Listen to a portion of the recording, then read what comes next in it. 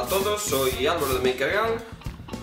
Eh, hacemos un vídeo después de mucho tiempo, hemos estado liados con el taller nuevo, ya estamos aquí instalados y trabajando y bueno, eh, ya iba tocando hacer un vídeo nuevo, así que eh, básicamente hoy em, lo que os voy a enseñar es uno de los juguetitos nuevos que vamos a tener, que es una trituradora de, de filamento.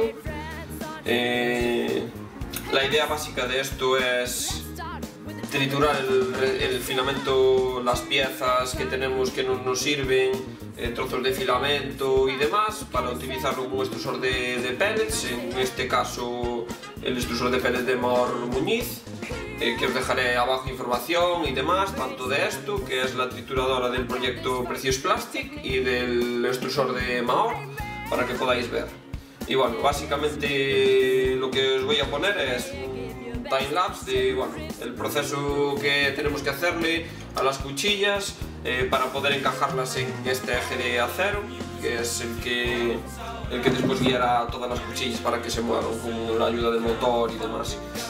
Así que nada, vamos a lijar todo esto y en cuanto esté lijado pues lo montaremos aquí en nuestro eje y este será el vídeo de hoy básicamente.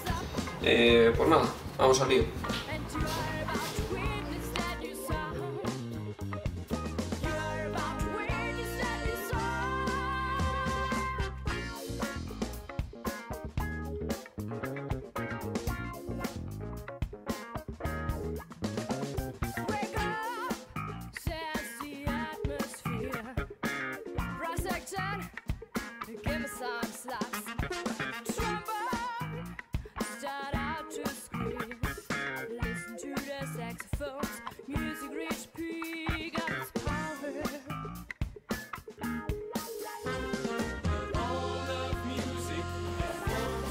Bueno, ya tenemos todas las piezas listas.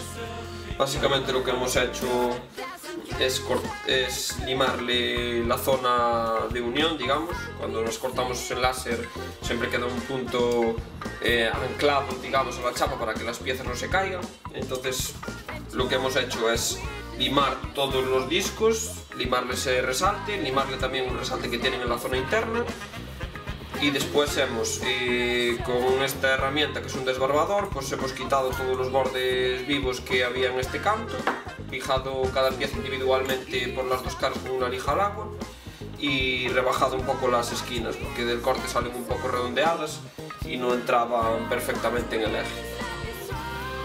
Así que bueno, ahora eh, lo que toca es montar todo este conjunto de piezas, así que nada.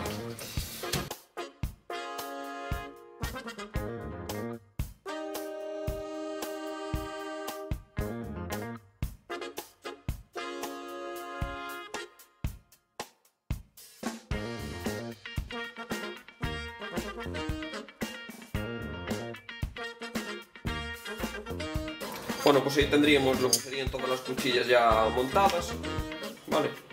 Eh, lo único que me, que me ha resultado un poco raro es que me sobra una cuchilla. No entiendo muy bien por qué. No estoy seguro se supone que entre cuchilla y cuchilla va un espaciador, con lo cual me faltaría un espaciador. Hay 15 cuchillas. Esto es tal como está descargado en los planos de la página de Precious Plastic. Entonces, no sé, me resulta un pelín raro. Pero bueno. También me resulta raro que la alineación de las cuchillas no es perfecta. No sé si tendría que ser así o si en realidad no importa que no sea perfecta. Eh,